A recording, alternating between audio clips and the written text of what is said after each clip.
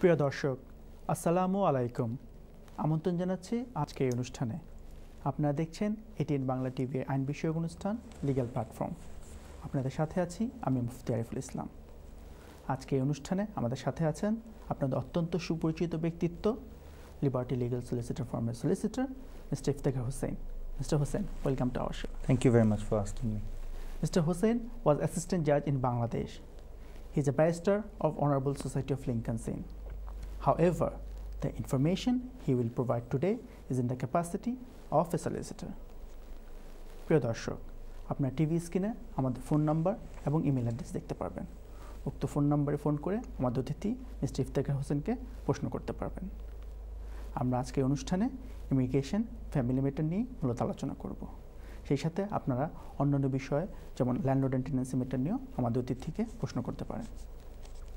Dear viewers In response to your calls, the answer will be informative, generative, and suggestive only. Therefore, before you act on the information you receive, please do seek independent legal advice from independent lawyer. This will each and every call you make, each and every answer you receive through the whole program, from the very beginning to the end. Mister Hossain অনুষ্ঠানের শুরুতে আমাদের রীতি অনুযায়ী আমরা আসলে immigration update বা অন্যান্য বিষয় লয় আপডেট নিয়ে আলোচনা করি। তো একটা মোস্ট ইন্টারেস্টিং একটা জিনিস এসেছে এখন যেটা হলো ইমিগ্রেশন একটা ইনজাংশন বা জুডিশিয়াল রিভিউর ব্যাপারটা এবং এর সাথে ইনজাংশনটা কীভাবে রিলেটেড তো আমি অনুষ্ঠান শুরুর শুরুতে আপনাকে রিকোয়েস্ট করব এই বিষয়টা নিয়ে আলোচনা ধন্যবাদ মুফতি। খুবই ইম্পর্ট্যান্ট একটা আপডেটের দিকে আপনি ইন্ডিকেশন দিয়েছেন। ঠিকই বলেছেন একটা খুবই ইম্পর্ট্যান্ট আপডেট এসেছে in terms of removal window এবং সেটার সাথে রিলেটেড জুডিশিয়াল রিভিউ এবং ইনজাংশন একটু ভেঙে বললে আমাদের ভিউয়ার্সদের জন্য জিনিসটা ক্লিয়ার হবে। তো বেসিক্যালি মুফতি যেটা হয়েছে আপনি জানেন এক্সিকিউটিভ পাওয়ার সেক্রেটারি অফ স্টেটের আছে, কিছু ক্ষমতা আছে, যেই ক্ষমতার বলে সেক্রেটারি অফ স্টেট নির্দিষ্ট মাইগ্রেন্ট যারা এদেশে সেটেল পারসন না বা ব্রিটিশ না, তাদেরকে ডিটেইন করতে পারেন। এবং তাদেরকে একটা নোটিশ ইস্যু করে বলতে পারেন যে you are liable to be removed এবং আমরা তোমাকে পরবর্তীতে পাঠিয়ে দিতে পারি।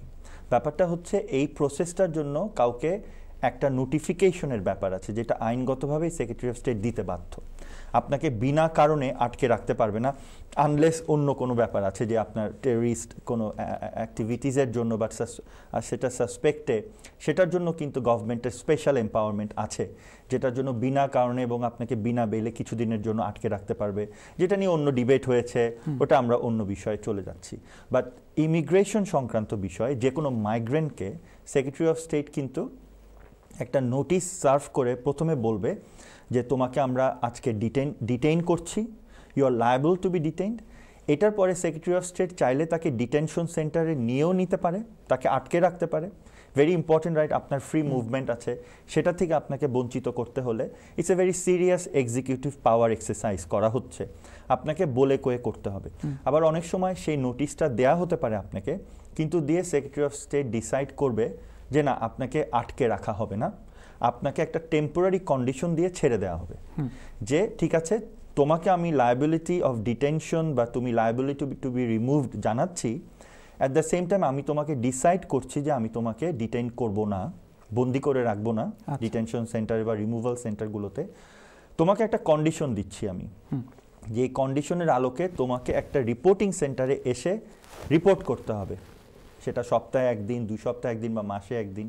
অনেক ক্ষেত্রে তিন মাসেও একবার আসতে বলা হয়। এবং নির্দিষ্ট করে বলা দেওয়া হয় বলে দেওয়া হয় এখানে থাকতে হবে। এবং তুমি কোনো কাজ করতে পারবে না। কোনো রকম এমপ্লয়মেন্ট অ্যাক্টিভিটিতে তুমি যেতে পারবে না। এই ধরনের নোটিশ যখন আসে তখন সেই নোটিশকে ফলোড আপ করা হয় আরেকটি নোটিশের মাধ্যমে যেটা যেটা নিয়ে আজকের মেইন কনসার্ন সেটা হচ্ছে রিমুভাল ডাইরেকশন আপনাকে রিমুভাল নোটিশ দিয়ে সারা জীবনের জন্য তো রেখে দেওয়া হবে না। এটা একটা পারপাস আছে এটা একটা উদ্দেশ্য আছে গভর্নমেন্টের গভর্নমেন্টের উদ্দেশ্য হচ্ছে যাদেরকে এরকম সার্ভ করা হলো তাদেরকে ধীরে ধীরে গ্র্যাজুয়ালি প্রসেস করে এবং আপনি বুঝতেই পারছেন লাখ লাখ রিমুভাল নোটিস এরকম দেওয়া হচ্ছে সবাইকে তো একসাথে প্রসেস করা যাবে না। একজন একজন করে এবং তারা তাদের রিমুভাল সেন্টারে প্রায়োরিটি বেসিসে কাউকে ডিটেন করে ফেলবেন। সো সেক্ষেত্রেই হচ্ছে নতুন গাইডেন্সের একটা পরিবর্তন এসছে এবং I'm afraid it's not a very important কি বলব পজিটিভ একটা চেঞ্জ চেঞ্জটা আমি যদি সারসংক্ষেপ বলে আমি বুঝতে পারছি আপনার বোধহয় কলার আছে আমরা পরবর্তীতে এটাতে আমি চলে আসব। ব্যাপারটা হচ্ছে বলে দেওয়া হচ্ছে এখন যে কাউকে যদি কারও যদি জুডিশিয়াল রিভিউ পূর্বের জুডিশিয়াল রিভিউ রিফিউজ হয়ে থাকে আপনি একটা জুডিশিয়াল রিভিউ করেছেন সেটা রিফিউজ হয়ে গেছে। আপনি পুনরায় যদি এখন রিফিউজ একটা নতুন করে জুডিশিয়াল রিভিউ করতে যান বা আপনি একটা অ্যাপিল করেছিলেন সেই অ্যাপিলটা রিফিউজ হয়ে গেছে। আপনি এখন যদি একটা জুডিশিয়াল রিভিউ করতে যান তিন মাসের ভিতরে আগের রিফিউজাল থেকে যদি জুডিশিয়াল রিভিউ করেন তিন মাসের মধ্যে যদি জুডিশিয়াল রিভিউ করেন শুধু জুডিশিয়াল রিভিউ করলেই রিমুভাল ডাইরেকশন থামানো যাবে না। আপনাকে সেই জুডিশিয়াল রিভিউর সাথে একটা ইনজাংশন গ্রান্টেড হতে হবে। আচ্ছা। তার মানে জিনিসটার কোর্টের কাছ থেকে শুধু আগে এটার একটু ভিউয়ারদেরকে হয়তো ব্যাখ্যা করা যায় যে এই ধরনের ক্ষেত্রে রিমুভাল ডিরেকশন যখন দিয়ে দেওয়া হতো, কাউকে যখন জানিয়ে দেওয়া হতো যে তোমাকে আমরা আগামী সাত দিন পরে প্লেনে করে পাঠিয়ে দিচ্ছি ভায়া কাতার বা টার্কি হয়ে তোমাকে এই প্লেনে অমুক প্লেনে আমরা তোমাকে পাঠিয়ে দিচ্ছি। সেক্ষেত্রে এটাকে স্টপ করার জন্য অনেক সময় জুডিশিয়াল রিভিউ করা হতো। সেই জুডিশিয়াল রিভিউ করলে কিন্তু এনআরসি ন্যাশনাল রিমুভাল সেন্টার ক্রয়ডনে অবস্থিত তারা ওটাকে স্টে করে ফেলতো। স্টে মানে ওটাকে আপাতত বন্ধ রাখা হতো।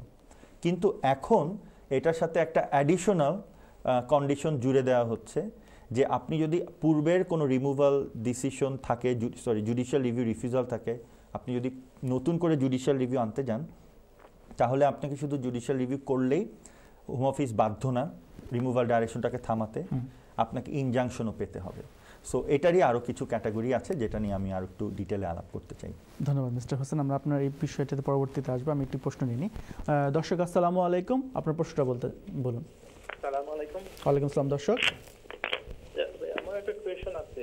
জি, বলুন। স্টুডেন্ট ভিসায় ছিলাম আচ্ছা। পরে আমি টিয়ার টু সুইচ করছিলাম। জি। টু থাউজেন্ড টুয়েলভ ফোর জানুয়ারির একুশ তারিখ আমার তারা অ্যাপ্রুভাল লেটার দিছিল। জি। And two thousand twelve four February sixteen February আমার তারা কার্ড ইস্যু করছিল। ওকে বায়োমেট্রিক কার্ড পরে আমার লাইসেন্সটা রিভিউ হয়ে গেছে। রিভিউ করার পরে আমার তারা সিক্সটি ডেজ নোটিস দিছে। নোটিসর ডেট আসছিল এই ডেটের তিন দিন আগে আমি অন্য আর একটা পারমিট সুইচ করছি টিয়ার টু জন্য একটা লাইসেন্সও এটার ভিসা ফিনিশ আসছিল গিয়ে আমার মনে হয় ডিসেম্বরের পনেরো তারিখ। ইয়ার কবে ভাই? কোন ইয়ারে টু থাউজেন্ড সিক্সটিন হোক two thousand sixteen December okay আমি টু থাউজেন্ড সিক্সটিনের ফিফটিন্থ নভেম্বর অ্যাপ্লিকেশন করছি আমি আর আমার ওয়াইফর এক মাসের লাগে হয়তো এক বছরও কাটছি এটা আসছে ফিঙ্গার প্রিন্ট দিলাইছি বাট এখন তো আমার আহ, পাঁচ বছর পরে যার আইএলআর অ্যাপ্লিকেশন করতাম আমি চিন্তা করলাম যদি স্পেশাল সার্ভিস হয় একদিনও লাগে আইএলআর অ্যাপ্লিকেশন করিয়া যায়। হুম। তা আমার যেহেতু আউটস্ট্যান্ডিং অ্যাপ্লিকেশনটা আছে হোম অফিসত তারা একদিনে ডিসিশন দিব নি।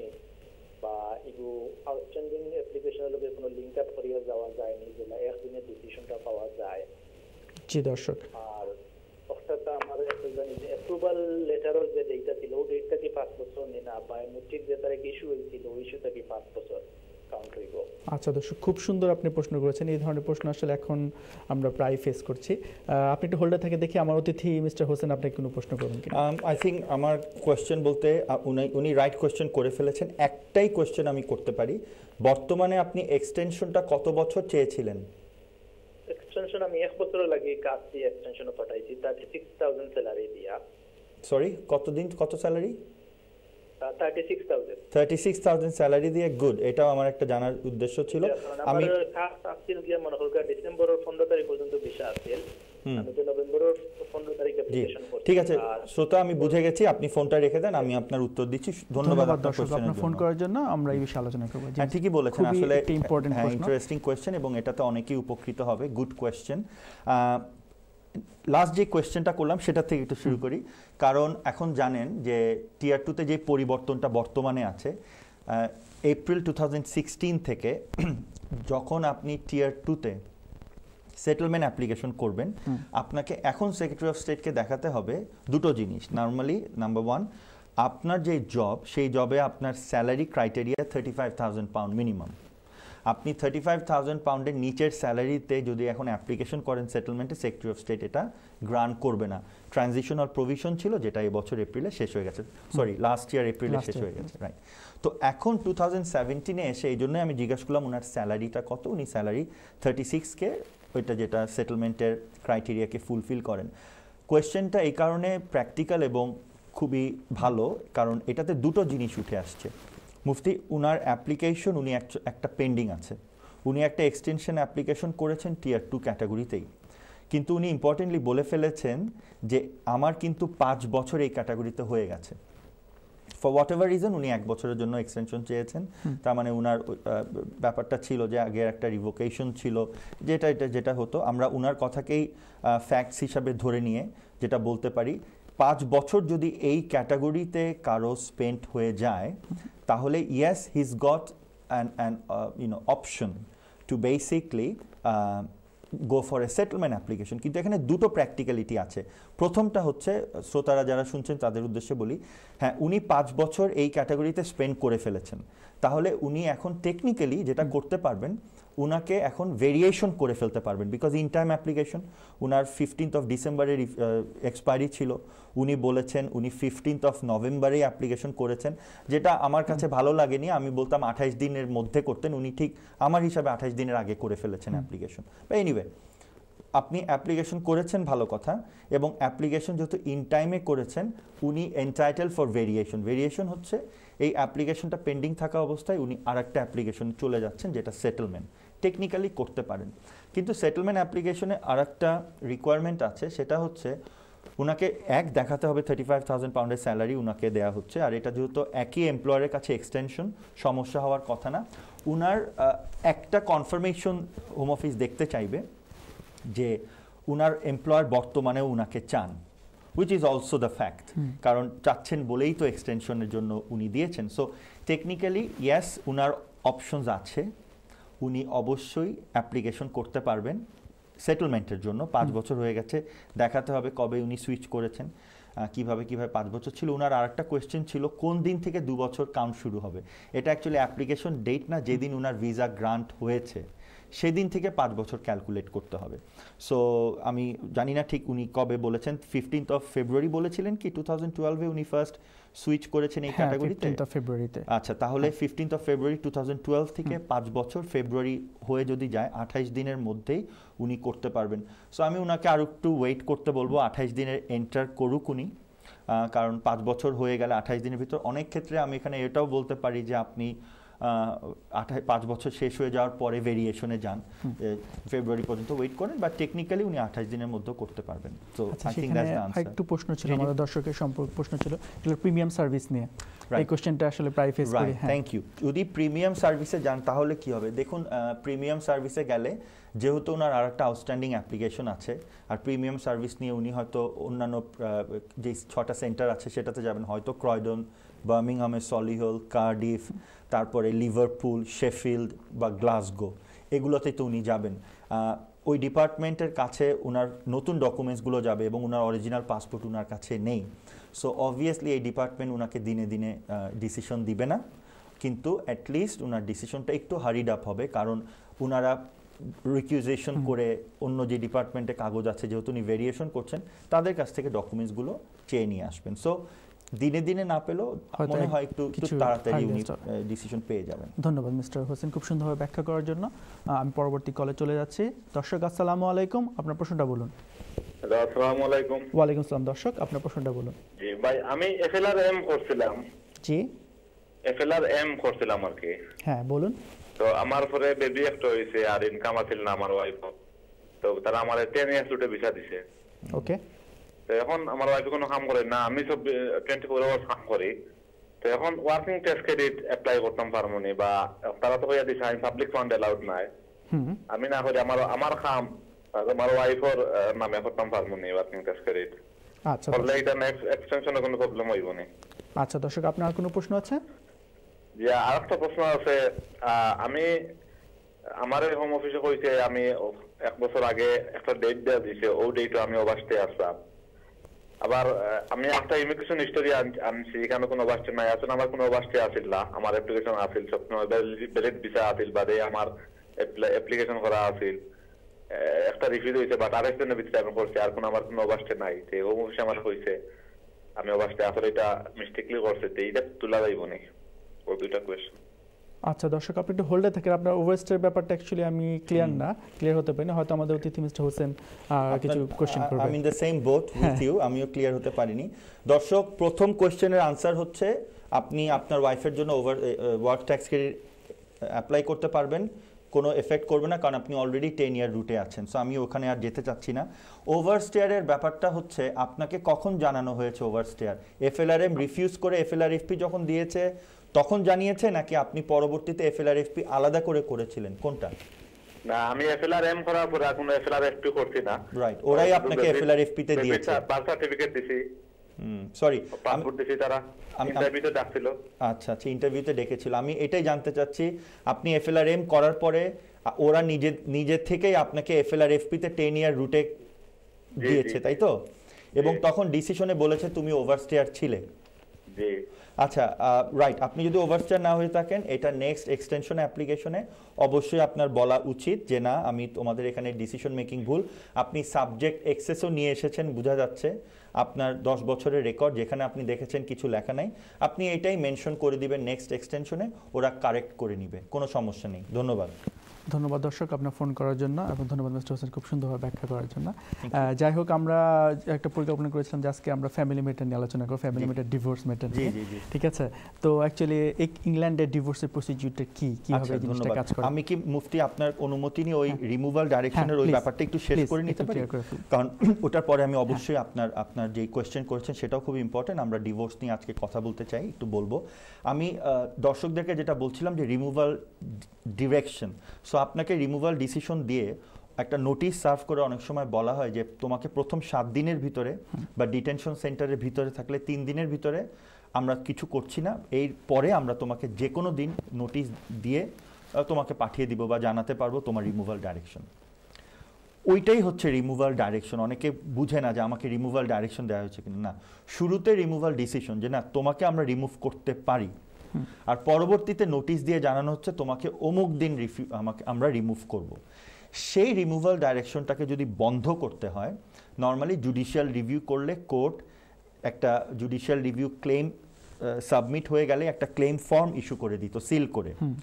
আপনার প্রসেসটা যেটা ছিল লয়াররা যেটা করতেন সেই ক্লেম ফর্মের সহ কপিটা সহ এটা রিমুভাল সেন্টারে যে আপনিও জানেন আপনি আপনি প্র্যাকটিস করছেন জানবেন যে তখন এগুলো আমরা পার্টিকুলার সেই ডিপার্টমেন্টে পুরো জুডিশিয়াল রিভিউ ক্লেম ফর্ম সহ কোর্টের সিল যে কোর্ট এটা একনলেজ করেছে দিয়ে পাঠিয়ে দিতে হতো।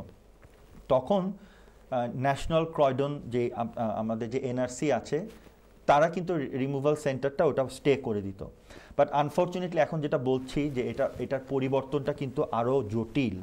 এখন শুধুমাত্র রিমুভাল ডিসিশন স্টে হবে না, আপনি যদি শুধু জুডিশিয়াল রিভিউ করেন তাহলে। আপনাকে এখন একটা ইনজাংশনও দেখাতে হবে আপনার পক্ষে এসেছে। সো এই ইনজাংশনের জন্য আপনাকে একজন কাউন্সিল বা হায়ার রাইট অফ অডিয়েন্স আছে, এরকম একজন সলিসিটারই এটা মুভ করতে পারবে। হ্যাঁ আপনার সলিসিটারদের যেটা প্রয়োজন হবে করতে আপনারা রেমেডিতে জুডিশিয়াল রিভিউ ক্লেম ফর্মে একটা ইনজাংশন চাইবেন। প্রেয়ারে একটা ইনজাংশন চেতে হবে। আগে প্রেয়ারে শুধু চাওয়া হতো একটা প্রহিবিটারি অর্ডার দেওয়া হোক বা স্টে করে দেওয়া হোক বা আদার কস্ট বা কোর্ট যা যা রেমেডি মনে করেন ফিট সেটা দিক। এখন কিন্তু আপনাকে চাইতে হবে। আলাদা করে একটা প্রেয়ারে প্রেই যদি না থাকে তাহলে হয়তো দিবে না এবং যখন আপনি ইনজাংশন চাইবেন তখন কিন্তু সেটার জন্য কোর্ট আপনাকে আলাদা একটা প্রেয়ারের জন্য একটা হিয়ারিংও দিতে পারে। এবং এক্ষেত্রে অনেক সময় যদি আর্জেন্ট রিমুভাল হয়, যে আপনাকে আগামীকালকেই পাঠিয়ে দিবে, সেক্ষেত্রে সেক্ষেত্রে কিন্তু ল ফার্মদেরকে হায়ার রাইট অফ অডিয়েন্স যাদের আছে সে ধরনের সলিসিটার অথবা কাউন্সিল যারা ব্যারিস্টার যারা কোর্টে অ্যাডভোকেসি করছেন এক্ষেত্রে হয়তো আমাদের দর্শকরা একটু কনফিউজ হয়ে যান সলিসিটার এবং প্র্যাকটিসিং ব্যারিস্টারদের ভিতর কিছু কি তফাৎ এটা হয়তো আরেকদিন আলোচনা করা যাবে। বাট সেক্ষেত্রে কোনো কাউন্সিল বা হায়ার রাইট অফ অডিয়েন্স যারা আছেন তারা কিন্তু কোর্টকে পিটিশন দিতে পারে। এক্ষেত্রে অনেক সময় কাউন্সিলরা ফোন করেও কিন্তু কোর্টের ক্লার্কের মাধ্যমে জাজের সাথে কথা বলেন জাজ যে কোনো সময় কল ব্যাক করতে পারে। জাজ তখন কথা বলে খুশি হলে ইনজাংশনটা গ্রান্ট করে দেয় সেই ইনজাংশনটা নিয়ে আপনাকে ন্যাশনাল রিমুভাল সেন্টারে পাঠালে তখনই একমাত্র জুডিশিয়াল রিভিউ সরি আপনার? রিমুভাল অর্ডারটাকে ডিরেকশনটাকে স্টে করা হবে।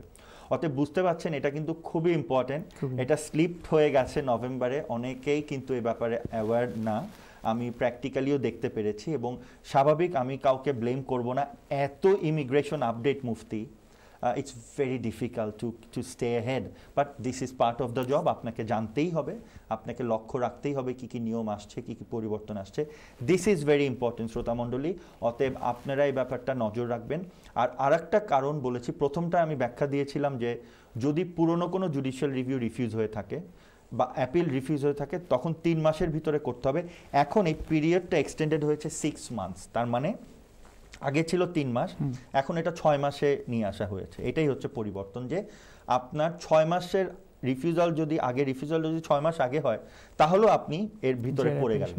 সো ভেরি ডিফিকাল্ট আর সেকেন্ডটা হচ্ছে home office will now not normally suspend removal where a judicial review is brought within three months removal window unless an injunction is granted so ওটারই repetition হচ্ছে আপনার যদি জুডিশিয়াল রিভিউ রিফিউজ নাও হয়ে থাকে আপনাকে যেদিন থেকে রিমুভাল ডিসিশনের এই নোটিশটা সার্ভ করা হয়ে গেল আরইডি বা এটাই যেটা অনেকেই জানবেন তখন থেকে কিন্তু আপনার ইনজাংশনটা গ্রান্ট হতে হবে। সো এটা একটু প্রপারলি দেখে শুনে এ কিন্তু এই কাজটা করা উচিত বলে আমি মনে করি। ধন্যবাদ মিস্টার হোসেন। খুব সুন্দরভাবে অ্যাকচুয়ালি বিষয়টা আলোচনা করার জন্য এবং দর্শকদের বোঝানোর জন্য।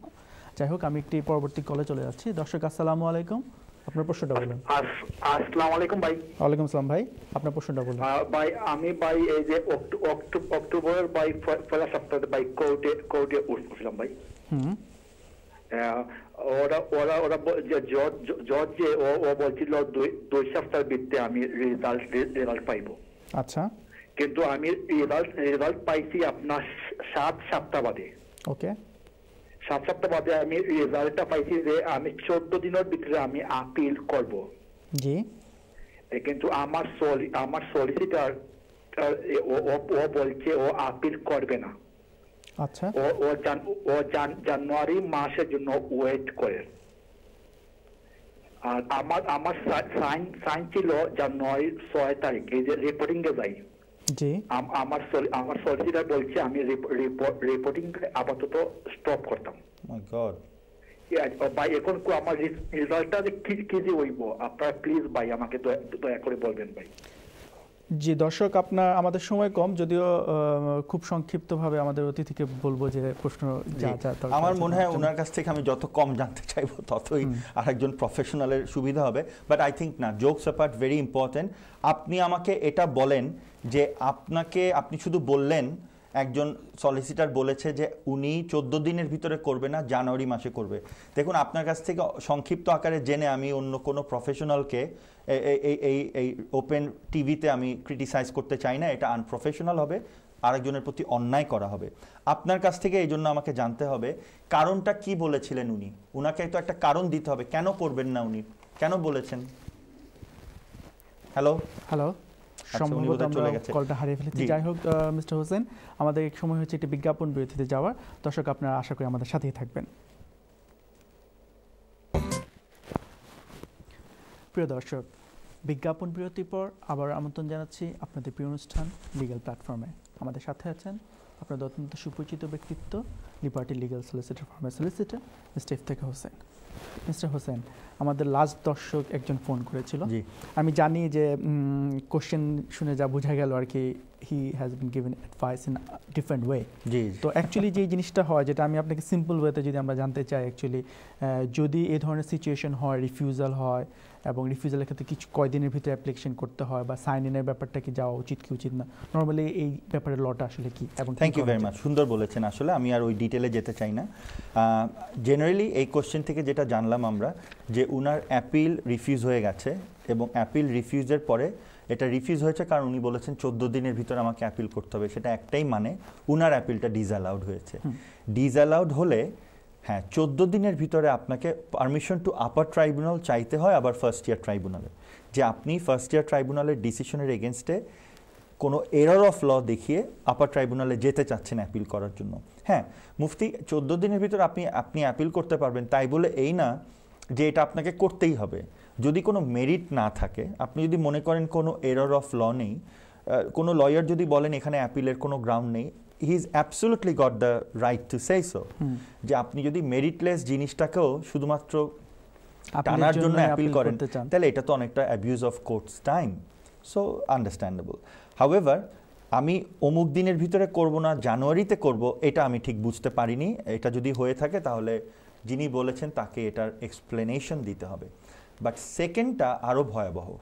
সেকেন্ডটা যেটা শুনেছি আপনি বোধহয় শুনেছেন বলেছে যে তুমি নেক্সট সাইনে যাবে না। Well that is where I have absolutely zero tolerance কারণ এরকম কোনো অ্যাডভাইস দেওয়াটা কমপ্লিটলি ইলিগাল আপনার প্রফেশনাল এথিক্স আপনাকে যা শিখায় আপনার যে দায়িত্ব আছে ক্লায়েন্টের প্রতি একজন সলিসিটার হিসাবে সেটা কিন্তু আপনি গ্রসলি ব্রেক করছেন এথিক্যাল প্র্যাকটিস না।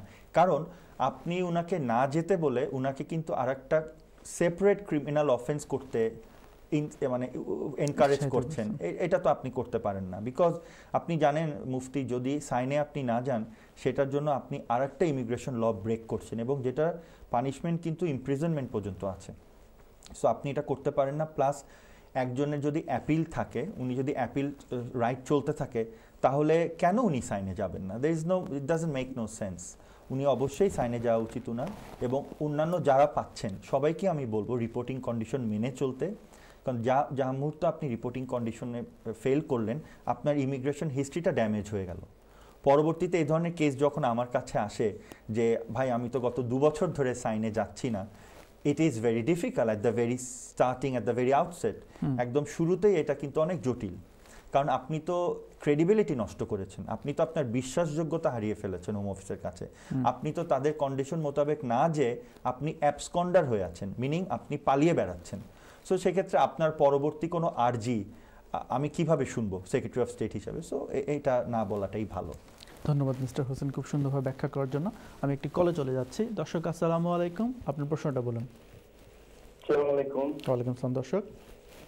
জি আম, এই যে শেষে ছিলাম সতেরোই জুলাই দুই হাজার ছয় সালে স্টুডেন্ট হিসাবে। জি। আমার এই ভিসার ডিউরেশন ছিল থার্টি ফার্স্ট অক্টোবর দুই হাজার আট। হুম।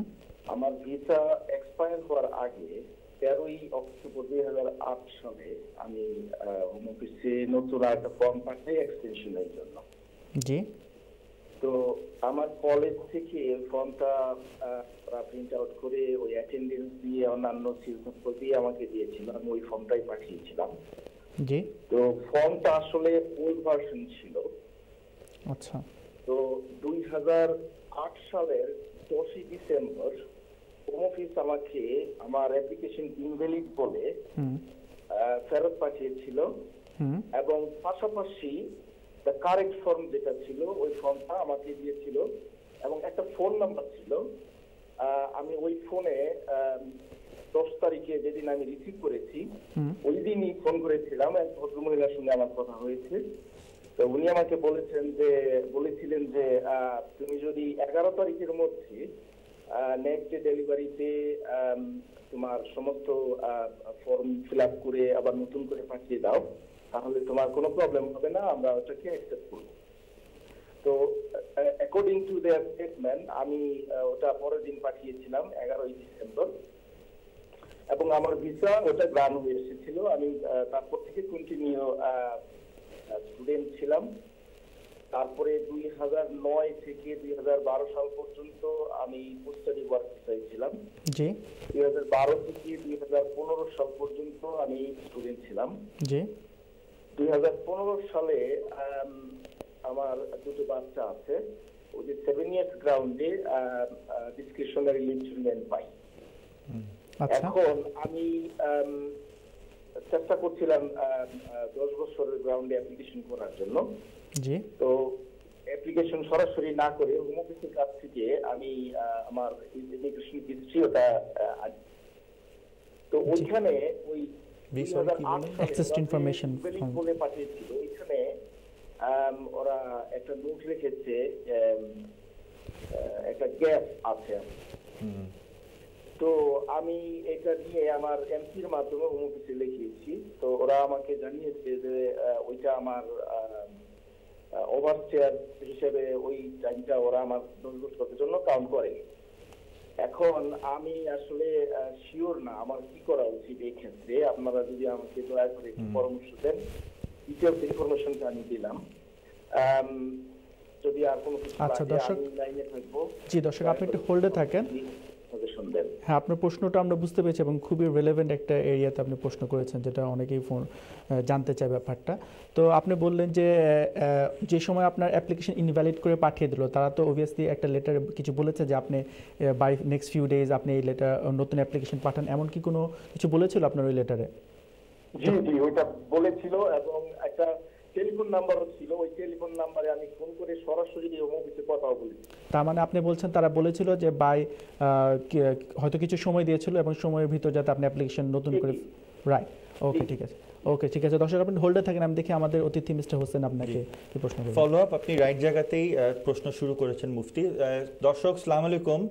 আমার কোয়েশ্চেনটা থাকবে হচ্ছে আপনি যখন এগারো তারিখে পাঠিয়ে দিলেন আপনার সেটা স্টুডেন্ট ভিসা অ্যাপ্লিকেশন ছিল, সেটা সেটা গ্রান্টেড হলো কত, কবে? গ্রান্ট হয়েছিল কবে? গ্রান্ট হয়েছিল তেরোই আই থিঙ্ক মার্চ নয়ই মার্চ নয় মার্চ টু থাউজেন্ড নাইনে হুম। দেখুন আপনি তারপরে বলেছেন আমি এই পয়েন্টে আসছি আপনাকে আরেকটা কথা জিজ্ঞেস করে ছেড়ে দিব। আপনি বলেছেন যে আপনি যেই সাবজেক্ট এক্সেস পেয়েছেন তাতে নোট আছে পরবর্তীতে আপনি এমপির মাধ্যমে ফোন করে ওরা বলেছে এটা ওভারস্টেয়ার হিসাবে ধরা হচ্ছে না। ধরা হচ্ছে। ধরা হচ্ছে সেটাই হওয়া উচিত রাইট দর্শক আম- আপনি ফোন রেখে দেন আমি আপনাকে বলছি আপনার সমস্যা কোথায় হতে পারে এবং কি করা উচিত। থ্যাংক ইউ ধন্যবাদ দর্শক আপনার ফোন করার জন্য। মোস্ট ইম্পর্টেন্ট পয়েন্ট জি জি ভেরি ইম্পর্টেন্ট পয়েন্ট এটা কিন্তু অনেক কনফিউশন এবং কনফিউশনের জন্য হোম অফিসও দায়ী। হোম অফিস কিছু কাউকে দিয়েছে দেয়নি এগুলা করে তার একটা ইনকনসিস্টেন্সির পরিচয় দিয়েছে। আনফর্চুনেটলি ক্লায়েন্টের এখন এই ব্যাপারে কনফিউশন টেকনিক্যালি আনসারটা হচ্ছে unfortunately that period is going to be deemed as overstay period আমি জানি এটা এটা আপনি শুনতে চাচ্ছেন না। আনফর্চুনেটলি এটা technically in the letter of law এটাই হচ্ছে আপনার অবস্থান। কেন আমি বলছি? ইয়াস আপনি দুটো জিনিস এখানে প্রিন্সিপাল অফ এস্টোপেল বা এটা এটা সহজ কথাটা হচ্ছে হোম অফিস আপনাকে একবার একরকম আশ্বাস দিয়েছে। কেন এখন ওরা ভিন্নভাবে আপনাকে দেখবে? দেখুন যেই মহিলা আপনাকে কাস্টমার সার্ভিস ফোন করে বলেছিলেন মুফতি উনাকে যে তুমি নেক্সট দিন পাঠিয়ে দাও তোমার কোনো সমস্যা হবে না। টেকনিক্যালি সরি সেই অ্যাপ্লিকেশন তো উনাকে রিফিউজ করা হয়নি। So because it was an invalid form এবং দ্য অ্যাপ্লিকেশনকে ইনভ্যালিড হিসাবে ট্রিট করা হয়েছে এবং উনাকে আরেকটা সুযোগ দেওয়া হয়েছে কারেক্ট ফর্ম পাঠাও এবং উনার কারণ ফর্মও দিয়ে দেওয়া হয়েছিল। উনি সেটা আবার পূরণ করে দেওয়ার পরে হোম অফিস কিন্তু they didn't refuse that they actually accepted that but প্রবলেমটা হচ্ছে ওভারস্টে পিরিয়ড যখন ক্যালকুলেট করা হয় বা লফুল রেসিডেন্স যখন ক্যালকুলেট করা হয় এটা হোম অফিসের খুব ক্লিয়ার কাট প্রসিজিয়ার মুফতি যে আপনি এখন জানেন যে জুলাইয়ের সরি নভেম্বর তেইশে নভেম্বরের পরে যদি এখন আপনি অ্যাপ্লিকেশন করেন এবং তখন আপনার ওভারস্টে পিরিয়ড কতদিন পর্যন্ত কাউন্ট করা হবে? বা আপনার ওভারস্টে পিরিয়ডটা যদি তেইশে নভেম্বরের আগে হয়ে থাকে, আঠাইশ দিন পর্যন্ত সেটা অ্যাকসেপ্টেবল হবে। এই ব্যাপারে যে ঘোষণাটা আছে এবং আগেও যে ইমিগ্রেশন রুল ছিল, তাতে কিন্তু একটা বিষয় ভেরি ক্লিয়ার সেটা হচ্ছে আপনি যদি কোনো অ্যাপ্লিকেশন করেন যেটা ইনভ্যালিড হয়ে চলে আসে, তাহলে যেদিন থেকে আপনি ইনভ্যালিডেশনের নোটিশ পেয়েছেন এবং পরে সেটা ঠিকঠাক করে সে অ্যাপ্লিকেশন করেওছেন এবং পরবর্তীতে অ্যাপ্লিকেশন এক মাস, দুই মাস, তিন মাস পরে অ্যাপ্রুভড হয়ে এসেছে। যতদিন পর্যন্ত এটা পেন্ডিং ছিল সেকেন্ড টাইম অ্যাপ্রুভ হওয়া পর্যন্ত এই ডিউরেশনটাকে কিন্তু তারা টেকনিক্যালি আউট অফ টাইম বলতে পারে। Doesn't make no sense in a layman's point of view একজন সাধারণ মানুষ মনে করবে কেন? তোমরাই তো আমাকে সুযোগ দিয়েছ। তোমরাই তো আমার ওই অ্যাপ্লিকেশনটাকে অ্যাকসেপ্ট করে দিলে। প্রবলেমটা হচ্ছে ভাই because the day you actually correct that application এবং আপনি যখন অ্যাপ্লিকেশনটা পুনরায় সাবমিট করলেন সেদিন আপনার কোনো ভ্যালিড লিভ টু রিমেন ছিল না। There for section three C অথবা থ্রি ডির মাধ্যমে আপনার লফুল রেসিডেন্স আর কন্টিনিউ করেনি। এটা হচ্ছে টেকনিক্যাল আনসার আপনার কোয়েশ্চেন হচ্ছে, কেন ওভারস্টেয়ার পিরিয়ড হিসাবে গণ্য করা হবে?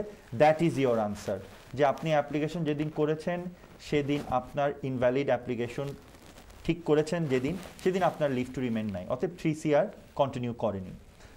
হাউএভার এটাতে ডিসক্রিশনটা অ্যাপ্লিকেবল করবে কিনা, সেটাই হচ্ছে এখন কোয়েশ্চেন কারণ সমস্যাটা হচ্ছে যে আঠাইশ দিনের বেশি যদি পিরিয়ড হয় ডিসক্রিপশনের স্কোপও নেই। আনলেস এক্সেপশনাল সার্কামস্টান্সেস সো আপনার একটাই বাঁচোয়া যে আপনি আপনার সিচুয়েশনটাকে এক্সেপশনাল সার্কামস্টান্সেসের আওতায় আনতে পারেন কিনা। সেখান থেকে আমার উত্তর শুরু।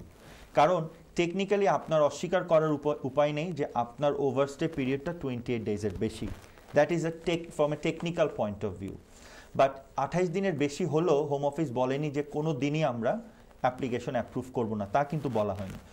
বলা হয়েছে এবং ইমিগ্রেশন ডাইরেক্টরেট ইনস্ট্রাকশনেও ক্লিয়ারলি বলা থাকে। ডিসক্রিপশনটা কখন অ্যাপ্লাই করা যেতে পারবে? সিনিয়র এক্সিকিউটিভ অফিসার বা এসইও একজন সিনিয়র কেস ওয়ার্কার এই জাতীয় জিনিসগুলো হ্যান্ডেল করবে। জেনারেল কেস ওয়ার্কারের হাতে থাকলে তাকে বলা হয়েছে। তুমি যদি এক্সেপশনাল কোনো গ্রাউন্ড পাও কেউ ক্লেম করছে তুমি একজন সিনিয়রের সাথে যোগাযোগ করো। সেক্ষেত্রে সিনিয়র এক্সিকিউটিভ অফিসার বা সিনিয়র কেস ওয়ার্কার এসিও জিনিসটা হ্যান্ডেল করবে এবং তাকে দেখতে হবে আপনার এক্সেপশনাল সার্কামস্টান্সেসটা কী ছিল। আমি কয়েকটা উদাহরণ দিয়ে আপনার কোয়েশ্চেনের আনসার শেষ করে দিব। জি জি। উদাহরণটা হচ্ছে আপনার সিরিয়াস ইলনেস আপনার পোস্টাল ডিলে আপনার ডকুমেন্টস হোম অফিস হারিয়ে ফেলেছে অথবা আদার কোনো রিজন আপনি আদার কোনো রিজনে যাবেন যে হোম অফিস তো আমাকে ওই সময় কেন আপনার ওল্ড ভার্সন ইউজ করেছিলেন? কি ঘটনা ছিল? কেন পাননি? আপনার থার্টি ফোর ইতে বলা থাকে কিছুদিনের জন্য আপনি পুরনো ফর্ম ইউজ করতে পারবেন। আপনি একজন লয়ারের কাছে গেলে আপনার সিচুয়েশন দেখে আপনার রেপ্রেজেন্টেশনটা কিছু হলেও সুন্দর করে রেডি করে দেওয়া যাবে। ধন্যবাদ। ধন্যবাদ মিস্টার হোসেন। খুব সুন্দরভাবে একটি খুবই ইম্পর্টেন্ট বিষয় নিয়ে আলোচনা করার জন্য। আমি একটি পরবর্তী কলে চলে যাচ্ছি। দর্শক আসসালামু আলাইকুম। আপনার প্রশ্নটা বলুন। জি। আচ্ছা আমার কোয়েশ্চন হচ্ছে টোয়েন্টি টোয়েন্টি ইয়ার্স নিয়ে সরি দুঃখিত। দর্শক আমরা ঠিকমতো শুনতে পাচ্ছি না সম্ভবত আপনার রিসিপশনটা আমার আমার কোয়েশ্চনটা হচ্ছে টোয়েন্টি ইয়ার্স এর হুম। কেসটা নিয়ে। ওকে যে ওইটা একটু এক্সপ্লেন করতে দিন আপনারা।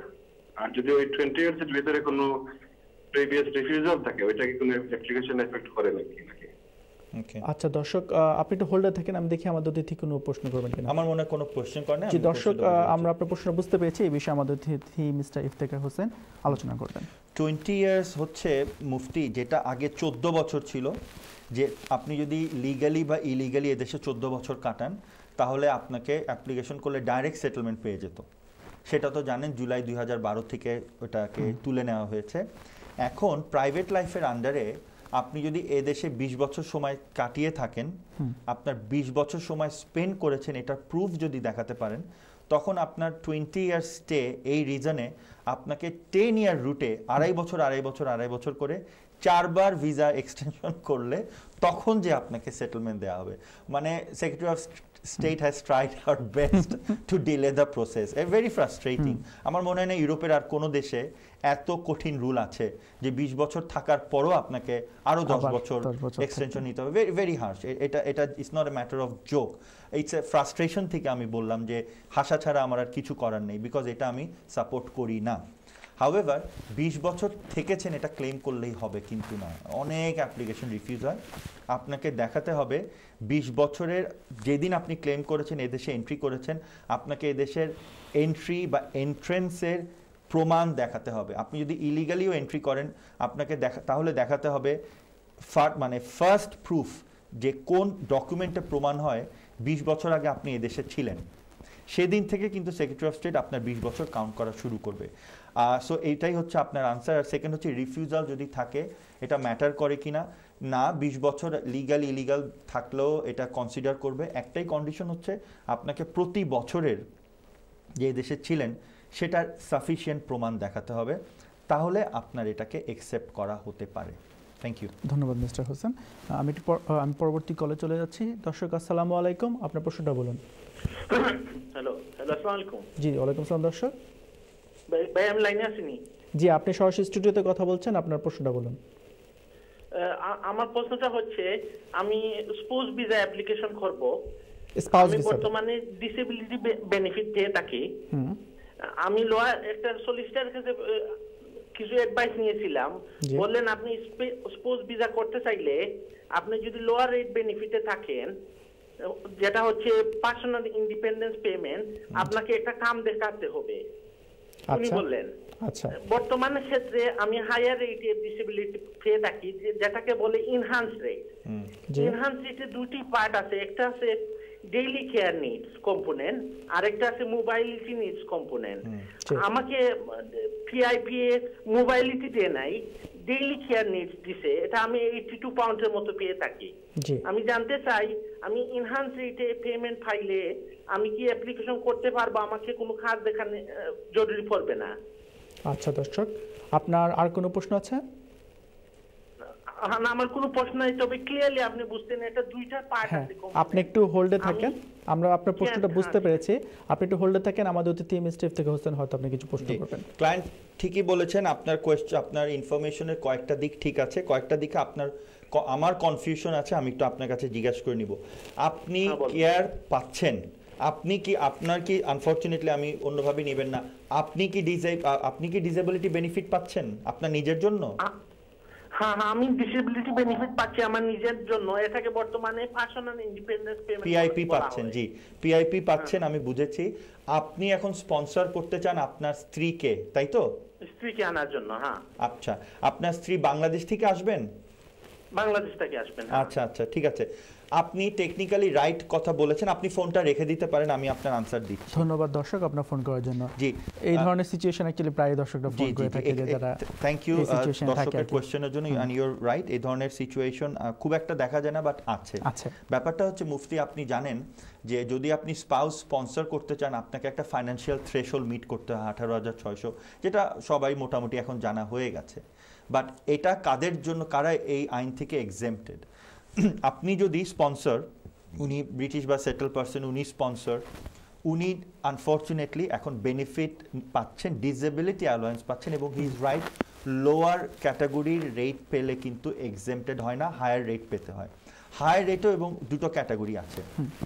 এক্ষেত্রে উনি মোবিলিটি পাচ্ছেন না উনি ডেইলি কেয়ার অ্যালাউন্স পাচ্ছেন। ওনার কোয়েশ্চেন হচ্ছে is it enough for me to be exempted দেখুন আমি এখানে বলব আপনার অ্যাপ্লিকেশন করা উচিত।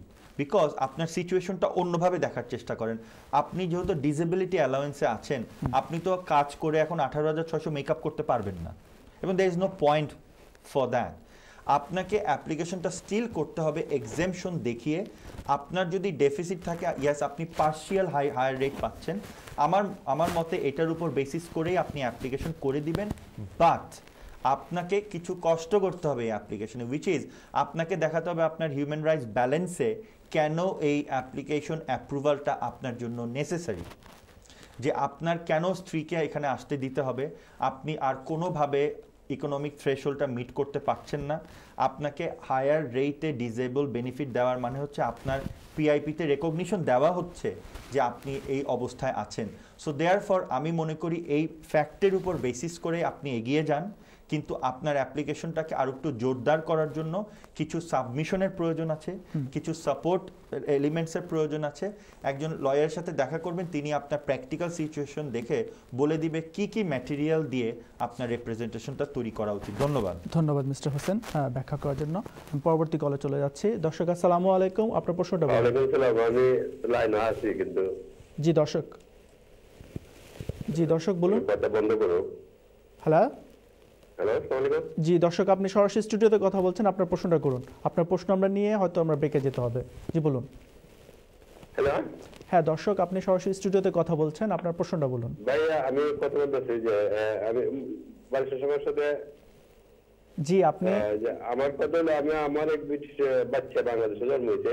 জি। তারা অন্য কথা বলতে হ্যাঁ দর্শক আপনার প্রশ্ন বলুন প্রশ্ন বলুন। জি। প্রশ্ন হইল আমার মানে আমার এক বাচ্চা দেশে জন্ম নিয়েছে। আমি ব্রিটিশ পাসপোর্টের লাগে অ্যাপ্লাই করতে হয়তো দেড় বছর হয়ে গেছে। আচ্ছা। তারা তো কিছু জানে না কি কিছু জানালো না কি ব্যাপার এটা এটা জানতে চাইলাম যে কি কিছু আচ্ছা। আ- আচ্ছা দর্শক আপনার কোনো প্রশ্ন আছে? না ওইটাই ধন্যবাদ মিস্টার দর্শক আপনার প্রশ্ন করার জন্য আমাদের অতিথি এই বিষয়ে আলোচনা করবে। আচ্ছা এখানে কোয়েশ্চেনটা হচ্ছে উনি ন্যাচুরালাইজেশন অ্যাপ্লিকেশন করেছেন সেটা পেন্ডিং আছে প্রায় পনেরো মানে দেড় বছর ধরে আঠারো মাস ধরে। এর মধ্যে উনার একটা বাচ্চাও হয়ে গেছে বাংলাদেশে। দেখুন এক্ষেত্রে উনার বাচ্চার অ্যাপ্লিকেশনটা মানে বাচ্চা বার্থ হয়ে গেছে উনার ন্যাচুরালাইজেশন হয়ে গেলে উনার বাচ্চা কিন্তু সরাসরি ব্রিটিশ পাসপোর্টের জন্য এন্টাইটেলড হবে। অথবা এক্ষেত্রে ডিসক্রিপশন আছে British nationality act section three ওয়ানের এটা বলা আছে কাদের ক্ষেত্রে চাইল্ডের ক্ষেত্রে কখন ডিসক্রিপশনটা সেক্রেটারি অফ স্টেট অ্যালাউ করবে। বাচ্চা যদি উনি ব্রিটিশ হলেন পরে বাচ্চা হয়ে গেল দেশের বাইরে বাট উনার তো এখন সেটেলমেন্ট আছে। সো উনার সেটেলমেন্টে ন্যাচুরালাইজেশন অ্যাপ্লিকেশন করার সময় উনি যদি ন্যাচুরালাইজেশন অ্যাপ্লিকেশন করেন এবং উনার পার্টনার যদি settle indefinite leave to remain প্রাপ্ত হন সেক্ষে- সেক্ষেত্রে কিন্তু বাচ্চার জন্য ডাইরেক্ট ন্যাচুরালাইজেশনও স্কোপ রেখে দেওয়া আছে। ভেরি ভেরি মানে আনইউজুয়াল একটা প্র্যাকটিস এটা সেকশন থ্রি ওয়ানে কেউ যদি পড়ে দেখতে পারবে এখানে প্রভিশন দেওয়া আছে ডিসক্রিপশনের বাট উনার কোয়েশ্চেনটা হচ্ছে কেন দেড় বছর ধরে ন্যাচুরালাইজেশন আটকা আছে? এটা যদি মুফতি উনার কোয়েশ্চেন হয় তাহলে আমি রিকোয়েস্ট করব উনাকে আপডেট চেতে হবে। এবং কিছু কিছু ক্ষেত্রে আমি এটা রেকমেন্ড করব না। কিছু কিছু ক্ষেত্রে বিনা কারণে এই ধরনের অ্যাপ্লিকেশন যদি আটকে রাখা হয় কিছু ক্ষেত্রে কিন্তু আপনাকে একটু প্রোঅ্যাক্টিভ হতে হবে। মানে আপনাকে বলতে হবে সেক্রেটারি অফ স্টেট তুমি যদি কোনো কারণ না দেখিয়ে এটাকে পেন্ডিং রাখো তাহলে কিন্তু আমি এই ম্যাটারটা নিয়ে কোর্টে যাব। জুডিশিয়াল রিভিউ করব। কারণ তুমি কারণ দেখাও আমাকে কেন আমার অ্যাপ্লিকেশনটা পেন্ডিং আছে কোন ভেরিফিকেশনটা আটকে আছে। কিন্তু কারণ ছাড়া যদি দেড় বছর কোনো অ্যাপ্লিকেশন আটকে থাকে ডিসিশন না দিয়ে। তাহলে ডিসিশন পাওয়ার জন্য ওই লোকাল এমপি টেমপিকে দিয়ে চিঠি লেখেও যদি কাজ না হয়, তাহলে আমি তো অনেক সময় মনে করি কোর্টে যাওয়াটাই হচ্ছে বেস্ট উপায়। আর বাংলাদেশে বাচ্চা হয়েছে আপনি একটু ওয়েট করেন আপনার ন্যাচুরালাইজেশন হয়ে গেলে তো আপনার বাচ্চা ডাইরেক্টলি ওই যে বললাম ডিসক্রিপশন কিন্তু বাচ্চা হয়েছে যেদিন সেদিন কিন্তু উনি সেটেল উনি ব্রিটিশ না। সো সেক্ষেত্রে ওই ডিসক্রিপশনের কথাটা বললাম ওটা ইউজ করা যেতে পারে। আদারওয়াইজ বাচ্চা যদি একবার এদেশে চলে আসে চলে আসার পরে বাচ্চার ন্যাচুরালাইজেশন ট্রাই করা যেতে পারে। ধন্যবাদ। ধন্যবাদ মিস্টার হোসেন। এই ব্যাপারে একটু সম্পর্ক প্রশ্ন করব। সে যদি তার বাচ্চাকে নিয়ে আসতে চায় জি জি। তাহলে কি করতে হয়? খুব সংক্ষেপে। এখানে চাইল্ড ডিপেন্ডেন্ট অ্যাপ্লিকেশন তাকে করতে হবে। ডাইরেক্টলি ওই পাসপোর্টের জন্য অ্যাপ্লিকেশন করে বা ন্যাচুরালাইজেশনের জন্য অ্যাপ্লিকেশন করাটা আউট কান্ট্রি ডিফিকাল্ট হবে। ইন কান্ট্রিতে আসার পরে বাচ্চার জন্য ন্যাচুরালাইজেশন করাটাই বেটার ধন্যবাদ। ধন্যবাদ মিস্টার হোসেন। দর্শক সময় হয়েছে একটি বিজ্ঞাপন বিরতিতে যাওয়ার আশা করি আপনারা আমাদের সাথেই থাকবেন। প্রিয় দর্শক বিজ্ঞাপন বিরতির পর আবারও আমন্ত্রণ জানাচ্ছি আপনাদের প্রিয় অনুষ্ঠান লিগাল প্ল্যাটফর্মে আমাদের সাথে আছেন আমাদের সম্মানিত অতিথি লিবার্টি লিগ্যাল সলিসিটার ফার্মের সলিসিটার মিস্টার ইফতেক হোসেন। প্রিয় দর্শক, আমরা আমাদের অনুষ্ঠানগুলো ইউটিউবে আপলোড করে থাকি। ইউটিউবে সার্চ অপশনে লিগ্যাল প্ল্যাটফর্ম লিখে সার্চ করলে আমরা আপনারা আমাদের অনুষ্ঠানগুলো দেখতে পারবেন। দর্শক স্টুডিওতে ফোন কল করার সাথে সাথে আমাদের ইমেল অ্যাড্রেসটিও আছে। যারা আপনারা ফোন কলে আমাদের স্টুডিওতে আমাদের অতিথির সাথে কথা বলতে না না পারেন বা সুযোগ যদি না হয়, তাহলে আপনারা আমাদের ইমেল করতে পারবেন। আমাদের ইমেল অ্যাড্রেসটি আপনি লিখে রাখতে পারেন। আমাদের ইমেল অ্যাড্রেসটি হলো legal platform at eighteen Bangla UK dot TV আমি আবার বলছি legal platform at eighteen Bangla UK dot TV দর্শক, আমি এখন একটি কলে চলে যাচ্ছি। দর্শক, আসসালামু আলাইকুম। আপনার প্রশ্নটা বলুন। হ্যালো আপনি বলি আপনাদের অনুষ্ঠানটা অনেক সুন্দর হচ্ছে। আমাদের ধন্যবাদ। এত ক্লিয়ার কনসেপশন এত ক্লিয়ার খুবই চমৎকার। ধন্যবাদ দর্শক আপনার সুন্দর কমপ্লিমেন্টের জন্য। আমি আমার আমার আন্ডারে ডিফিনিট করছিল। সরি দর্শক আমরা ওয়ার্ডটা ড্রপ করে ফেলছি ফেলেছি। আপনার আবার বলুন আপনি কি বলছেন? আপনার? আমার হাজব্যান্ড ইনডিফিনিটের জন্য অ্যাপ্লিকেশন করছিল। আমি আমার ব্রিটিশ পাসপোর্ট আমার দুইটা বাচ্চারও ব্রিটিশ পাসপোর্ট ওকে দুই মাস আগে। জি। হ্যালো হ্যালো দর্শক? হ্যালো দর্শক আপনি কি শুনতে পাচ্ছেন?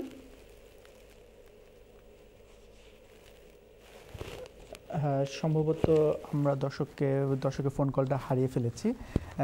যাই হোক দর্শক, আমরা এখানে বিভিন্নভাবে আমাদের অতিথিরা দর্শকদের প্রশ্নের উত্তর দেয়।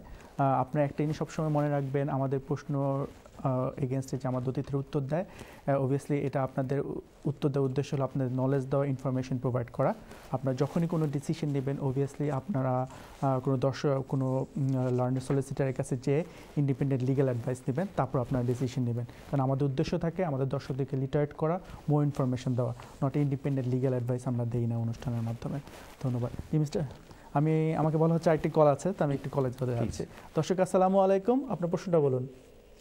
ওয়ালাইকুম সালাম।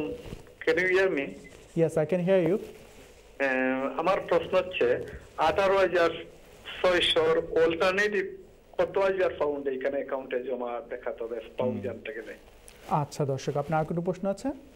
জি না আমার একটাই কোয়েশন আঠারো হাজার ছয়শোর অল্টারনেটিভ কত হাজার পাউন্ড অ্যাকাউন্টে জমা রাখলে পরে ওইটা দেখানো লাগবে না আঠারো হাজার ছয়শো। ধন্যবাদ দর্শক আপনার প্রশ্ন করার জন্য আমরা এই বিষয়ে আলোচনা করব। উত্তরটা হচ্ছে sixty two thousand and five hundred pound বাষট্টি হাজার পাঁচশো পাউন্ড আপনার অ্যাকাউন্টে থাকতে হবে ফর সিক্স মান্থস এখন কীভাবে sixty two thousand five hundred হয় এটা একটু অঙ্কের হিসাব আছে আমার কাছে ব্ল্যাকবোর্ড নাই আমি আই উইশ আমি দেখাতে পারতাম। আমি তারপরও মুখে বলে দিচ্ছি আপনি যদি বুঝতে পারেন ভালো আদারওয়াইজ কোনো সলিসিটারের কাছে যাবেন উনি ব্রেকডাউনটা দিয়ে দিবে।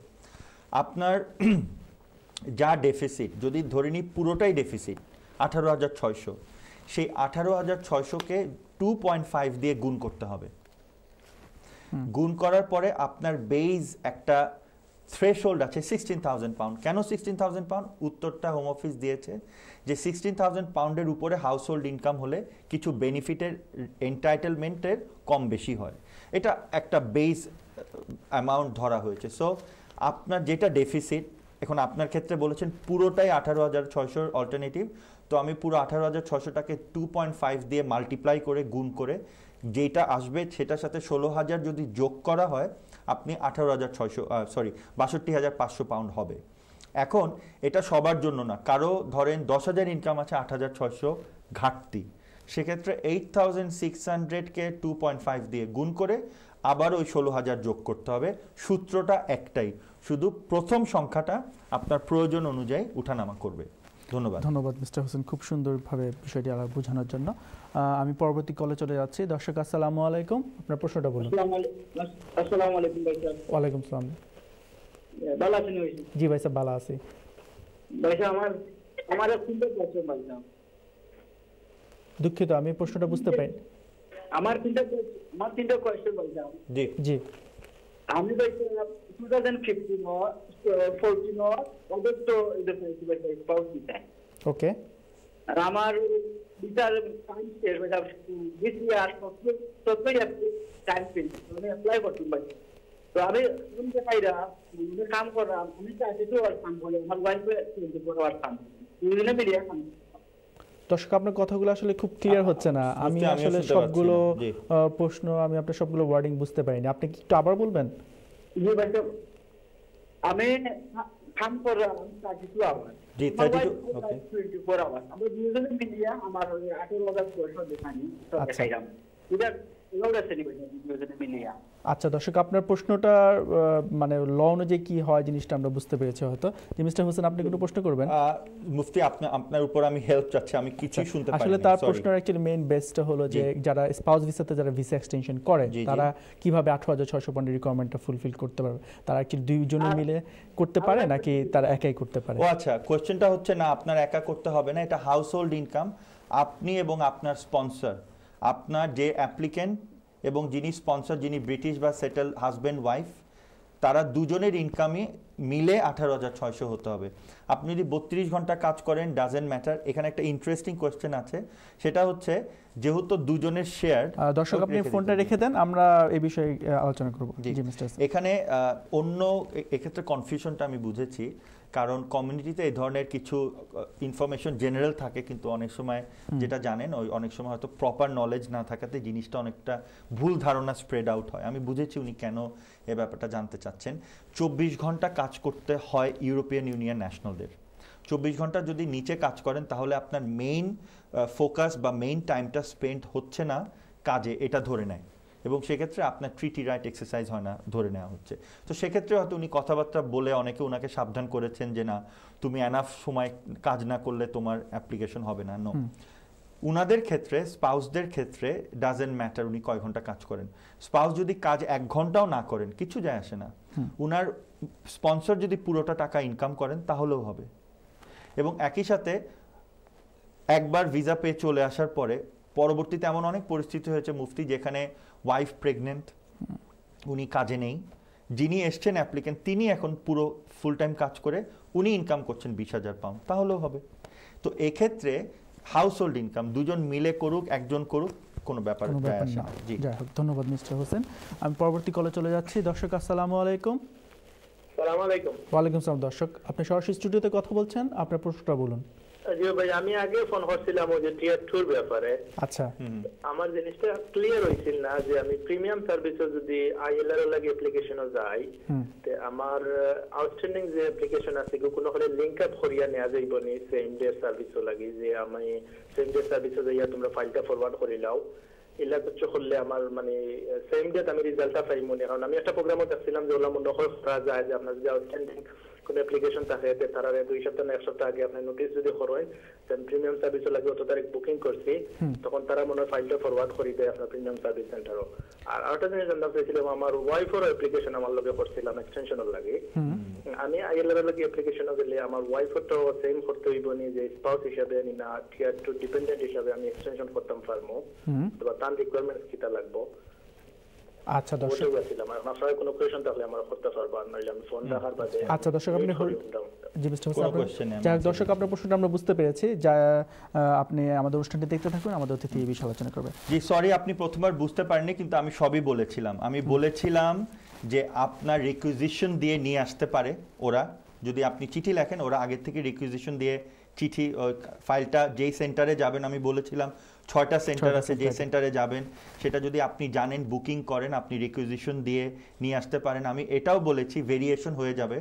আপনি যদি বল- আপনি যদি রিকুইজিশন নাও দেন আপনি যদি সেম ডে সার্ভিসে যান, ওরা নিজেরাও রেকুইজিশন দিয়ে ডকুমেন্ট নিয়ে আসবে, কিন্তু আপনাকে দিনে দিনে ভিসা দেওয়া হবে না।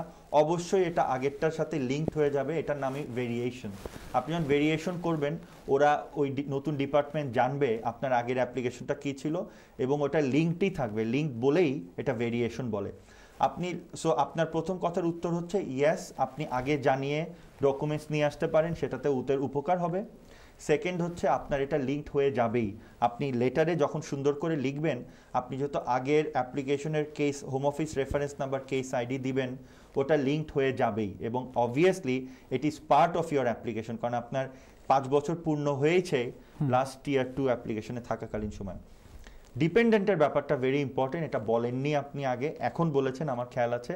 ইটস ভেরি ইম্পর্টেন্ট আমি এটার আনসার দিচ্ছি। আই হোপ আপনি আমার প্রথম পার্ট আনসার বুঝেছেন। ডিপেন্ডেন্টের ব্যাপারটা হচ্ছে ট্রিকি কারণ আপনি টিয়ার টুতে আছেন এখন আপনি ভেরিয়েশন করে আইলারে চলে যেতে চাচ্ছেন সেটেলমেন্টে দেখুন আপনি কিন্তু টিয়ার টু থেকেই পাঁচ বছরের অ্যাপ্লিকেশন করছেন আপনি কিন্তু সেটেলার করছেন না যে আপনার ওয়াইফকে ছেড়ে দিতে হবে। উনি অন্য ক্যাটাগরিতে নিজে যাবেন। আপনার সাথে আপনার স্ত্রীও কিন্তু সেটেলমেন্ট করতে পারেন। আপনার সাথে আপনার ওয়াইফও সেটেলমেন্টের জন্য এন্টাইটেলড এখানে কিছুটা ট্রানজিশনাল প্রভিশনে এসছিল। আমি আর ওনাকে ক্রিটিক্যাল করে উত্তর দিব না। আপনার জন্য উত্তর হচ্ছে আপনার স্ত্রী কবে এসছেন এদেশে যদি আপনি মনে করেন যে দু বছর অ্যাটলিস্ট আপনাদের থাকা হয়েছে আপনার স্ত্রী কিন্তু আপনার সাথেই সেটেলমেন্ট অ্যাপ্লিকেশন করে উনিও সেটেলমেন্ট পেয়ে যাবেন। ধন্যবাদ। ধন্যবাদ মিস্টার হোসেন খুব সুন্দরভাবে ব্যাখ্যা করার জন্য। আমি পরবর্তী কলে চলে যাচ্ছি। দর্শক আসসালামু আলাইকুম। ওয়ালাইকুম সালাম ওয়ালাইকুম আসসালাম দর্শক আপনার প্রশ্নটা বলুন। আমি উনির সাথেই বলতে চাই কারণ এই সময় কাটে গেছে কি ভালো করে বলতে পারছি আচ্ছা দর্শক। হ্যালো হ্যালো হ্যাঁ আপনার প্রশ্নটা দুঃখিত আমি আপনার কথাটা শুনতে পারি না। আপনি আবার বলুন। আমার প্রশ্নটা হলো জি। হ্যালো হ্যাঁ আমরা আপনি সরাসরি স্টুডিওতে কথা বলছেন আপনার প্রশ্নটা বলুন। আমার প্রশ্নটা হলো এই সময় বলছিলাম যে আমার এক বাচ্চা দেড় বছর হয়েছে বাংলাদেশে। অ্যাপ্লিকেশন করছিলাম ব্রিটিশ পাসপোর্টে আমার অলরেডি তিন বাচ্চা ওদের আনছি ব্রিটিশ পাসপোর্টে হুম। জি? আচ্ছা আচ্ছা। আমি অলরেডি তিন আমার আরও তিনটা বাচ্চা আছে এখানে আমার ওয়াইফ দেশে। রাইট আপনার আমার ওয়াইফ দেশে আমার যে এক বাচ্চা হয়েছে দেড় বছর আগে আমি অ্যাপ্লিকেশন করছি ব্রিটিশ পাসপোর্টে আমি ব্রিটিশ ব্রিটিশ বাচ্চা হওয়ার আগে থেকে। আচ্ছা। আচ্ছা আমার সব বাচ্চা নেই ব্রিটিশ আচ্ছা। ঠিক আছে দর্শক। আমার বাচ্চা দেড় বছর ধরে ফিল্ডিং Okay. জানাই না আচ্ছা। ঠিক আছে দর্শক আমরা আপনার প্রশ্নটা এখন আসলে ক্লিয়ারলি বুঝতে পেরেছি। যাই হোক মিস্টার হোসেন আপনার কোনো প্রশ্ন আছে? অবভিয়াসলি এখন বোঝাই যাচ্ছে হ্যাঁ। উনি নিজে ব্রিটিশ হ্যাঁ। এবং উনার বাচ্চা আপনার একটাই কোশ্চেন করা যেতে পারে আপনার আগের বাচ্চারা যারা এসেছে এটা কি একই স্ত্রীর থেকে আপনার সম্পর্কের বাচ্চা? আচ্ছা এবং জি জি এবং আপনাকে কি আমি একটা কোয়েশ্চেন করতে পারি? আপনার স্ত্রীর জন্য অ্যাপ্লিকেশন কেন করেননি? আপনাকে আপনার কোনো প্রয়োজন নেই উত্তর দেওয়ার বাট আমি জানতে চাচ্ছিলাম আপনার ফ্যাক্ট আপনার স্ত্রীর জন্য কেন অ্যাপ্লিকেশন করেননি জানতে পারি কি? জন্য? আপনার স্ত্রীর জন্য কেন অ্যাপ্লিকেশন করেননি এখন পর্যন্ত? আমি অ্যাপ্লিকেশন করতে পারি নাই আমি এই ইনকাম দেখাইতে পারি না এই জন্য। রাইট ওকে বুঝতে পেরেছি ধন্যবাদ। Right, আপনি ফোনটা রেখে দেন ভাই। তিনটে বাচ্চা নিয়ে আচ্ছা আপনাকে একটা কথা জিজ্ঞাসা করতে পারি আপনাকে আর কষ্ট দিতে চাই না না, আপনি আবার পুনরায় ফোন করেছেন। আপনি কি আপডেট জানতে চেয়েছেন বাংলাদেশের কেস ওয়ার্কারের কাছে যে তুম- তোমরা কি আমার প্যারেন্টাল কোনো প্যাটার্নিটির প্রুফ চাও কিনা ডিএনএ টিএনএ চাও কিনা? এরকম কোনো আপডেট কি? চাইছে না একবার খালি বলছিল কি কাম- আমার ব্রিটিশ পাসপোর্টের ফটোকপি দেওয়ার জন্য জি। ও আমি আবার দিচ্ছি আচ্ছা। কতদিন হয়েছে পাঠিয়েছেন? এইটা এক বছর আগে। নো নো নো আপনাকে সিম্পল আনসার দি ভাই আপনার ডিলেটা মানে আনএক্সেপ্টেবল এতদিন দেরি করার কোনো কারণ নেই তাদের কারণ আপনার অলরেডি তিনটা বাচ্চার তারা রেকগনিশন দিয়েছে ব্রিটিশ দেশ থেকে ব্রিটিশ পাসপোর্টই ডাইরেক্টলি পেয়েছেন আপনি বাংলাদেশ থেকে কারেক্ট জি আপনাকে আপনার আগের তিনটা বাচ্চাকে যদি ব্রিটিশ পাসপোর্ট ইস্যু করা হয় আপনার প্যাটার্নিটি একসেপ্ট করে দেড় বছর এই অ্যাপ্লিকেশন আটকে রাখার কোনো লফুল আইনগত অধিকার তাদের নেই। আপনাকে দয়া করে আমি বলব সিরিয়াসলি আপনি তাদেরকে চিঠি লিখতে থাকেন একটার পর একটা এবং আপনার লোকাল এমপি দিয়েও দরকার হলে আপনি একটা চিঠি ফরওয়ার্ড করান। যে কোনো কারণ ছাড়া আমার বাচ্চাকে কেন তোমরা দেড় বছর ধরে আটকে রাখছে? কারণ তাদেরকে কারণ দেখাতে হবে যে তোমার বাচ্চাকে কে লুক আফটার করবে? সোল রেসপন্সিবিলিটি আছে কিনা? তোমার স্ত্রীর অনুমতি আছে কি না যেটাই তাদের সন্দেহ থাকুক, আপনাকে তো জিজ্ঞেস করতে হবে। আপনাকে জিজ্ঞেস না করে তো ফেলে রাখতে পারে না। হ্যাঁ তাদের এই ধরনের কোয়েশ্চেন আসতে পারে। এবং আসলেও তাদের সমস্যা তারা অলরেডি একই সিচুয়েশনে তিনটা বাচ্চাকে দিয়েছে। সো ওনার সোল রেসপন্সিবিলিটি প্যারেন্টাল রেসপন্সিবিলিটি আছে কিনা মায়ের কোনো অবজেকশন আছে কিনা বা আদৌ এটা ওনার সন্তান কিনা যেটাই হোক কোয়েশ্চেন করুক। কোয়েশ্চেনও করবে না ফেলে রাখবে দেড় বছর এটা তো কোনো এক্সকিউজ হতে পারে না। আপনাকে আপডেট চাইতে হবে ভাই ধন্যবাদ। ধন্যবাদ মিস্টার হোসেন খুব সুন্দরভাবে ব্যাখ্যা করার জন্য। আমি পরবর্তী কলে চলে যাচ্ছি। দর্শক আসসালামু আলাইকুম। আপনার প্রশ্নটা বলুন। হ্যালো আসসালামু আলাইকুম ওয়ালাইকুম সালাম আহ, ভাই আমি একটা কোয়েকশন করতাম আছি জি। হ্যালো হ্যাঁ আপনি সরাসরি স্টুডিওতে কথা বলছেন আপনার প্রশ্নটা করুন। জি আমার হয়েছে ভাই কি এই ড্রাইভিং লাইসেন্স তিন চার দিন ধরে আমার কি। হ্যালো হ্যাঁ আপনি প্রশ্ন করুন আমরা শুনতে পাচ্ছি। আপনার ড্রাইভিং লাইসেন্স হোম অফিস থেকে কি হয়েছে বলুন। বলছে যে কি যে তুমি তোমার এই দেশে থাকার স্টেটাস নাই যার কারণে তোমার লাইসেন্স আমরা স্টপ করে দিলাম আমরা প্রসেসিং করিয়া তুমি ড্রাইভিং করিয়া। এটা খেলে করল বা কিতা লাগি বা এটা লাগি আমি কোনটা করতাম পারি? আচ্ছা দর্শক আপনার প্রশ্নটা আপনি ইমিগ্রেশন স্ট্যাটাস মনে হয় নাই বা এরকম কিছু তাই তো? জি জি জি। আচ্ছা দর্শক আপনি আর কোনো প্রশ্ন করতে চান? জি না ওইটাই আমি জানতে চাই আর ধন্যবাদ দর্শক আপনার প্রশ্ন করার জন্য। জি মিস্টার হোসেন এই জিনিসটা এখন প্রায় ফেস করছি আমরা। ড্রাইভিং লাইসেন্স বা ব্যাংক অ্যাকাউন্ট এগুলো সিজ করে ফেলছে বা বন্ধ করে ফেলছে. অ্যাকচুয়ালি এই ব্যাপারটা একটু আলোচনা করুন। মুফতি আপনি more than qualified to answer this আপনি ঠিক জায়গায় বলেছেন ওনার ইমিগ্রেশন স্ট্যাটাস না থাকার কারণে immigration act two thousand fourteen হুম। এটাই হচ্ছে মেইন ল যে লয়ের আন্ডারে সেক্রেটারি অফ স্টেট এখন এম্পাওয়ার তার ক্ষমতা আছে। কারও যদি ইমিগ্রেশন স্ট্যাটাস না থাকে তার ব্যাংক অ্যাকাউন্ট যেটা রাইটলি বলেছেন ওটা সিজড হয়ে যেতে পারে বন্ধ করা করে দেওয়া হতে পারে তাদের ড্রাইভিং লাইসেন্স রেসিন করে নেওয়া হবে রিভোক করে নেওয়া হবে। আরও জানেন তাদের থাকতে বাসা দেওয়া থাকা তাদের ঘর ভাড়া নেওয়ার অধিকার কাজের রাইট নাই। তাদের কিছু সেকেন্ডারি এনএচএস এর ফেসিলিটি সব কিন্তু এখন বন্ধ করে নেব উদ্দেশ্য ভেরি ক্লিয়ার উদ্দেশ্য বলেই দিয়েছে যে আমরা কঠিন করে ফেলতে চাই যাদের এদেশে লিগ্যাল স্ট্যাটাস নেই। তাদের এই দেশে থাকার ব্যাপারটাকে সেক্রেটারি অফ স্টেট কঠিন করে ফেলতে চায়। এখন দেখেন এটা সরকারের পলিসি এটাতে আমাদের কিছু করার নেই বাট আমাদের কলার যিনি ফোন করেছেন হ্যাঁ আপনার ড্রাইভিং লাইসেন্সটা তারা বন্ধ করে দিচ্ছে বা রিভোক করে নিচ্ছে, আপনার ইমিগ্রেশন স্ট্যাটাস না থাকার কারণে এটাই হচ্ছে কারণ। ধন্যবাদ। ধন্যবাদ মিস্টার হোসেন। আমি পরবর্তী কলে চলে যাচ্ছি। দর্শক, আসসালামু আলাইকুম। আপনার প্রশ্নটা বলুন। হ্যালো আসসালামু আলাইকুম ওয়ালাইকুম আসসালাম দর্শক আপনার প্রশ্নটা বলুন। ভাই আমি লাইভ স্টুডিও করে বলতে হ্যাঁ আপনি লাইভ স্টুডিওতে কথা বলছেন আপনি আপনার প্রশ্নটা করুন। ওকে আপনাদের একদম দুজনকে আমার পক্ষ থেকে আন্তরিক অভিনন্দন। খুবই সুন্দরভাবে আপনারা পরিষ্কারভাবে উত্তর দিচ্ছেন প্রশ্নগুলির ধন্যবাদ। আমার প্রশ্ন হচ্ছে বাইশটা সাহেবের কাছে। জি। আমার আমি স্টুডেন্ট ভিসায় টু থাউজেন্ড নাইনে দেশে এসেছিলাম। তারপরে টু থাউজেন্ড টুয়েলভে আবার স্টুডেন্ট ভিসা এক্সটেনশন করেছি। আরও তিন বছরের জন্য। জি। টু থাউজেন্ড ফোরটিনে আমি বিবাহ করেছি আর কি। তারপরে আমি স্পাউস ভিসার জন্য অ্যাপ্লাই করছিলাম। জি। তো আমার অ্যাপ্লাইটা রিফিউজ হয়ে গিয়েছিল বিকজ আমার ট্রইকের জন্য। অ্যাপ্লাই যখন করেছিলাম তখন আমি ট্রিনিটি বি ওয়ান দিয়ে অ্যাপ্লাই করছিলাম আগে জি। ট্রইক দেওয়ার জন্য আমার রিফিউজ হয়ে গেছে। তারপরে আমি অনেকদিন গেছে আমার জুডিশিয়াল রিভিউ সবকিছু রিভিউজ হয়ে গেছে। তো এখন তারা লেটার দিচ্ছে যে আমি চলে যাওয়ার জন্য। আচ্ছা। এই অবস্থায় আমি আরেকটা লেটার পাইলাম যে আমি হোম অফিসে আমি ইন্টারভিউ যাওয়ার জন্য। জি। এটা হচ্ছে ন্যাশনাল আমার ওয়াইফের আমার ফ্যামিলির পাসপোর্ট টাসপোর্ট নিয়ে যাওয়ার জন্য। এরকম ইন্টারভিউ কীরকম হতে পারে? আমি একটু জানতে চাচ্ছি আর কি যে পজিটিভ হবে না নেগেটিভ হবে? আচ্ছা দর্শক আমি কিছু প্রশ্ন করব। জুডিশিয়াল রিভিউটা পেন্ডিং আছে আর কি।